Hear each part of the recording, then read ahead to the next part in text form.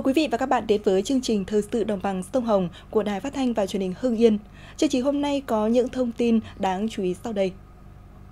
Nét sáng tạo ở khu vui chơi thiếu nhi xây dựng từ vật liệu tái chế ở Bắc Ninh.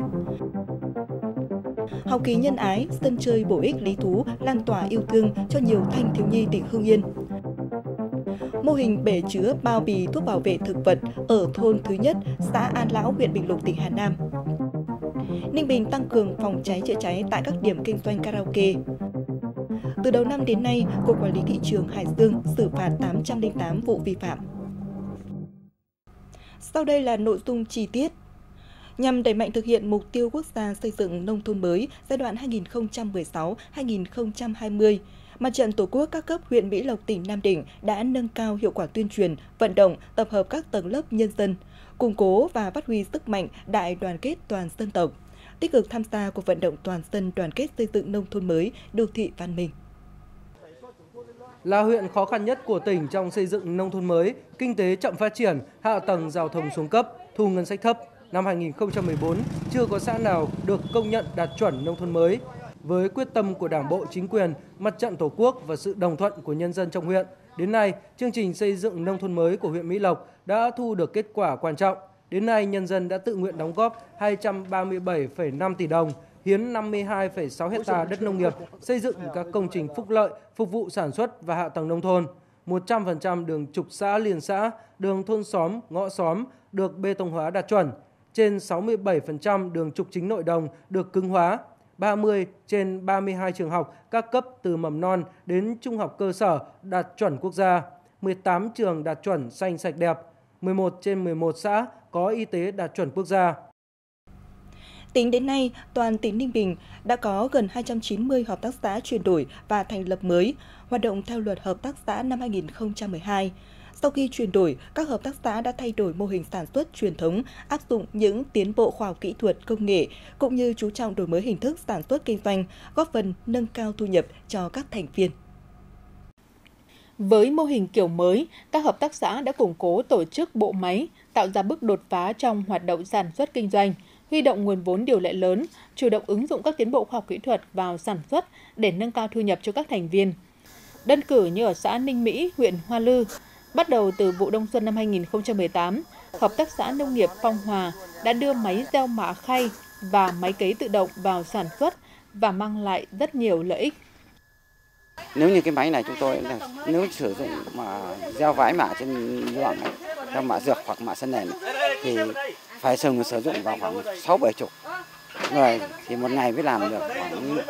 phục vụ đủ mạ cái năm hecta nhưng chúng tôi là làm hiện nay là chỉ trong cái dây chuyển có hơn chục người thì chúng tôi chỉ trong vòng 2 tiếng là chúng tôi đã làm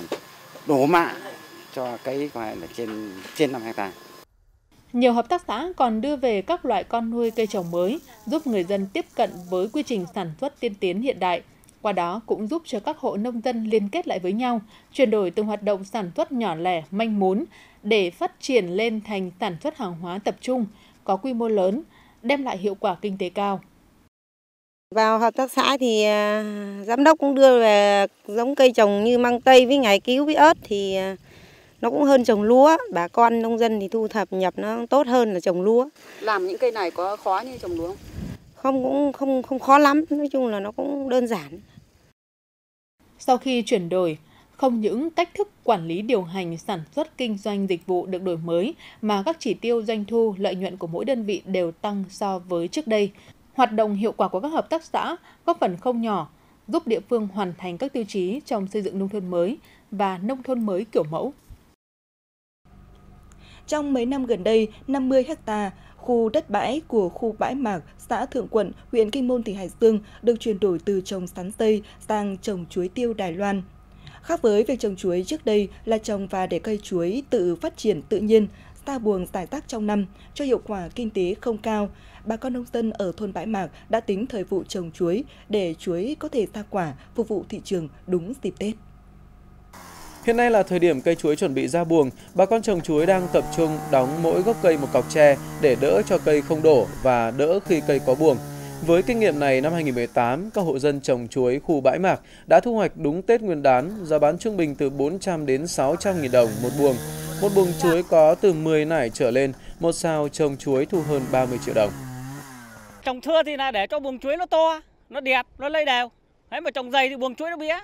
Buồng dưới thì nó sẽ bị ờ, thắt, thắt buồng trên thì nó trên to, to dưới dưới bé. Năng suất cao mà nhàn hơn, nó sướng hơn mà bán nó sướng hơn. Đến tận nơi cái khách mua đến tận nơi cái chặt cái người ta vác luôn. Mình không phải vác. Chuối là một trong 8 loại quả và nông sản được phía Trung Quốc chấp thuận xuất khẩu theo chính ngạch. Để xuất khẩu được chuối thì bà con nông dân trồng chuối xã Thượng Quận huyện Kinh Môn cần phải thực hiện đúng quy trình có tem truy xuất nguồn gốc. Với cây chuối nói riêng thì à, chúng tôi cũng đã đăng ký đề xuất là một trong những cái à, cây ăn quả để xuất khẩu sang Trung Quốc thì à, như các chị thấy là hiện nay thì bà con nông dân đã sản xuất theo một cái quy trình khép kín, có thể nói là một cái công nghệ sản xuất sạch, an toàn, tạo ra những cái sản phẩm chất lượng và có giá trị kinh tế cao trong cái việc mà thu nhập cho bà con nông dân.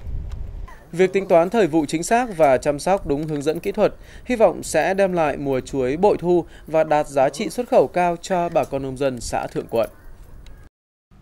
Thưa quý vị và các bạn, huyện Kiến Sương, tỉnh Thái Bình có gần 40 làng nghề với khoảng 9.400 cơ sở và hộ gia đình tham gia sản xuất công nghiệp và tiểu thủ công nghiệp, tạo việc làm và thu nhập ổn định cho gần 26.000 lao động. Một số nghề thủ công truyền thống có giá trị sản xuất cao, góp phần vào phát triển kinh tế của địa phương như chạm bạc Đồng Sâm, mây tre Thượng Hiền, đồ gỗ Mỹ Nghệ.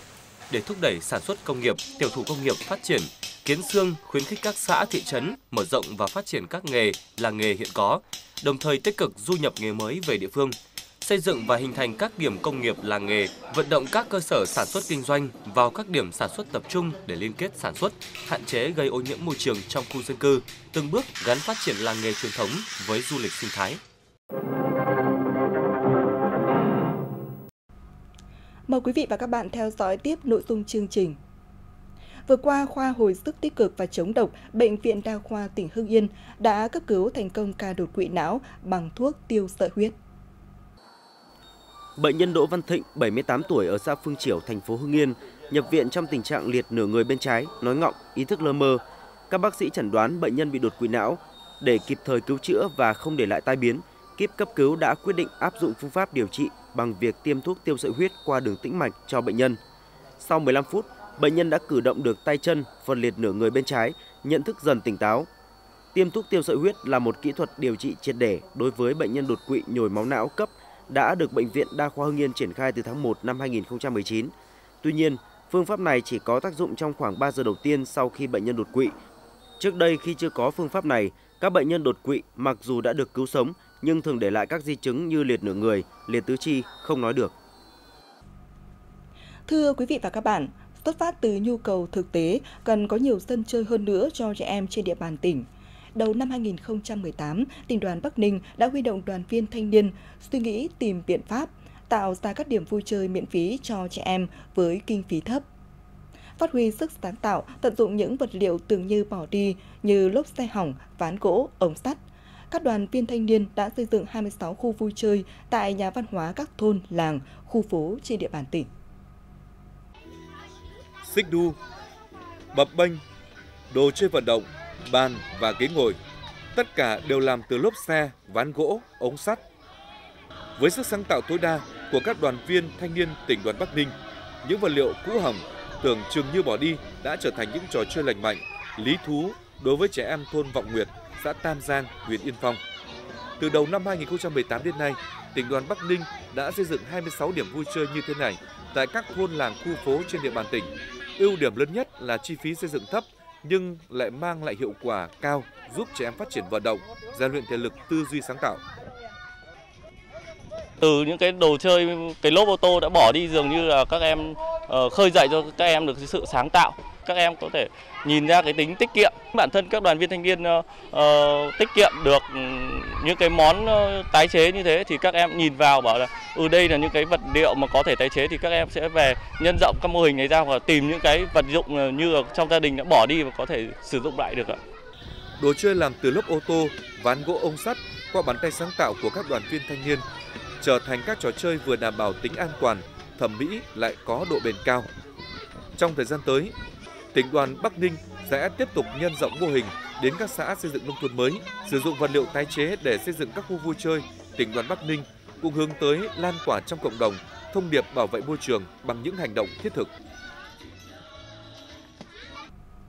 Nhằm tạo sân chơi bổ ích lý thú, hùn đúc tình cảm, nhân cách tốt đẹp trong tâm hồn con trẻ. Trong những ngày hè, Hội chữ thập đỏ tỉnh Hưng Yên tổ chức chương trình Học kỳ nhân ái năm 2019 cho 65 thanh thiếu niên độ tuổi từ 9 đến 15 tuổi trên địa bàn tỉnh. Tại bể bơi thành phố Hưng Yên, các cán bộ hội chữ thập đỏ tỉnh trực tiếp hướng dẫn các em kỹ năng sơ cấp cứu và phòng chống đuối nước, giúp các em xử lý những tình huống nguy hiểm để có thể tự cứu mình và hỗ trợ người khác trong các trường hợp khẩn cấp. Hay các em được cán bộ phòng cảnh sát phòng cháy chữa cháy công an tỉnh hướng dẫn và thực hành phương pháp xử lý tình huống khi xảy ra hỏa hoạn, cách sử dụng bình chữa cháy trong trường hợp cháy xăng dầu, sự cố, bình ga. Đây chỉ là hai trong số rất nhiều kỹ năng mà các em được học.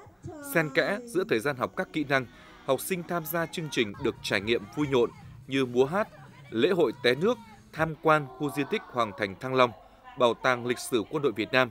thăm hỏi tặng quà cho các đối tượng tại Trung tâm Bảo trợ xã hội tỉnh.